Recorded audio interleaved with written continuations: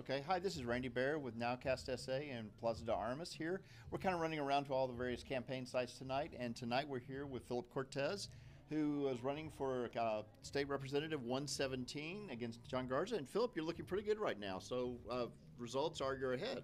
Well, we're excited right now. You know, we were watching early vote very carefully, and for us to come out with the early vote with a lead was important. And now, as election day results continue to come in, the lead is growing bigger and bigger. So we're trending in the right direction. Uh, we're just hoping that it continues to go in that direction, and hopefully, I'll be serving the residents of 117 very soon. Great. So, with this campaign this year, so what were some of the things that you kind of found out during this campaign? I mean, you had, you had a pretty tough, tight race with John Garza. So, well, it, it, was. We knew it was going to be tight. We knew that um, you know it's never easy to unseat an incumbent. Um, and so we knew that we had to work twice as hard and get our message out to twice as many people. And I think you can tell by the turnout countywide, you know, the residents were ready to come and, and send a message, I think, to some of these state reps that we're not happy with the, some of the votes you took last year, specifically the vote on the $5.4 billion that they cut to our public schools and our institutions of higher learning. I think a lot of people were upset with that, and now uh, the voters are letting letting them know.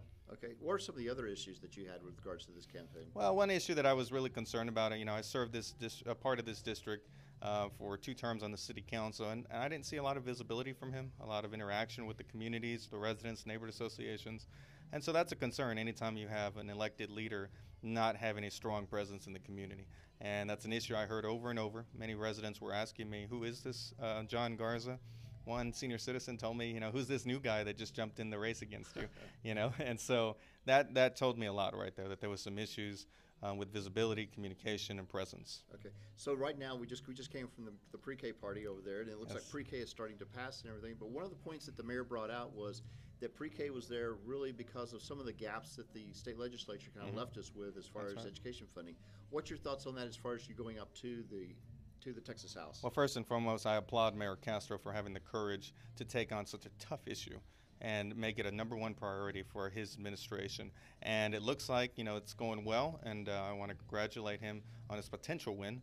Um, but he knows how important education is, and that the key to any successful community is the strength of the knowledge base of that community. So, for him to want to allocate a one eighth cent uh, sales tax specifically uh, for the youngsters, the pre-K, uh, um, children here in the community, that's a big deal. And I was fully supportive.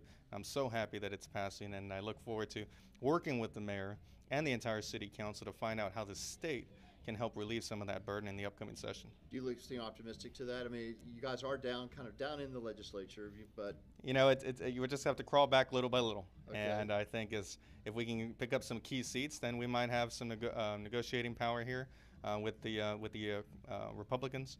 Uh, ultimately, I do believe, though, that some of the extreme votes that they took last year uh, is coming back to hurt them, and now they realize that they can't go that far uh, in this coming session. I hope they realize that. Should I be successful, and should others throughout the state uh, remove some other incumbents? well, it looks like we have one turnover of a seat this tonight here with you. Well, we're hoping to turn it blue. We still got a lot of votes to be counted, uh, but it's trending in the right direction. And I want to just thank the residents of House District 117 uh, for giving me this lead, initial lead, and I'm hoping that they continue to uh, have me in the lead throughout the entire night. Congratulations. Well, sir. thank you, sir. I appreciate it. Thank you. All right. Thank you.